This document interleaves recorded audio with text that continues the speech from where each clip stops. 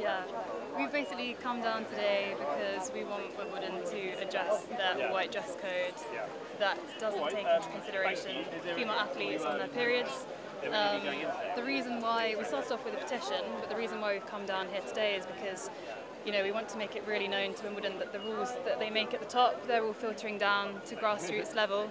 And we're already seeing tons of young girls who drop out of sport when they're on their periods or by the time they hit puberty they've stopped sport altogether.